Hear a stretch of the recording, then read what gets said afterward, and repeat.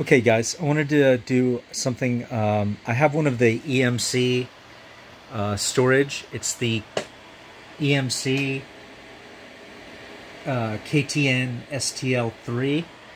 And I wanted to show you guys which interposers work for both SATA and SAS. Um, so I've got them set up here.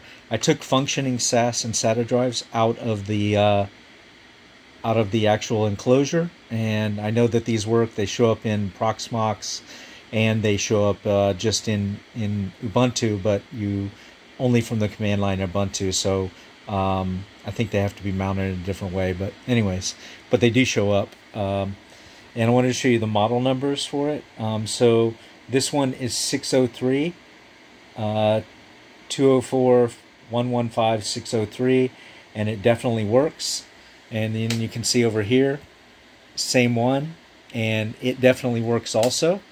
And uh, I just wanted you guys to know that those interposers work with the EMC um, also I'll show you where you definitely have to plug into the bottom connector on the EMC with your cable. Uh, and you can also hear the volume levels right now. Um, I'll be quiet for a second. This is with both the EMC running and with a Dell server. The Dell server has the IMPI hack uh, to lower the fans to 4800 RPM, and there's also a uh, DIY pfSense running. So all these fans running, and here's the volume level.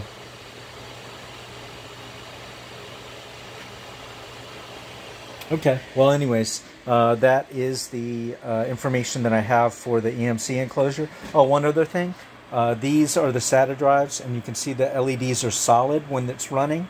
Uh, when it boots up, it blinks.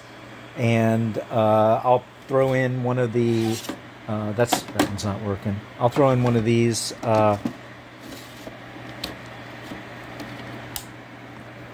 you can see this is a SATA drive. You can see it's powering up. And on this one, it doesn't blink but it does turn on one LED. So, um, oh, there it goes. My bad. But anyways, uh, it is. I don't know. It's dimmer. It seems than the SATA ones. I'm not sure why that is, but it still tells you that it's uh, it's actually working. So, anyways, I think that addressed most of the questions people had about this.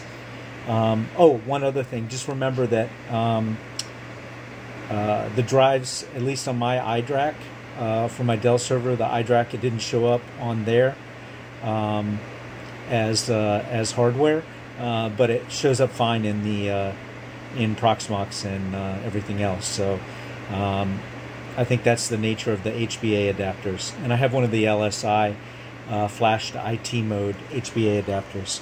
Anyways, um, so that is it. And mine, my my case came with one of these, like a front a front uh, thing. So pretty cool. If you need some storage space, I think it's a decent, uh, decent option. Thanks for watching. Have a good day.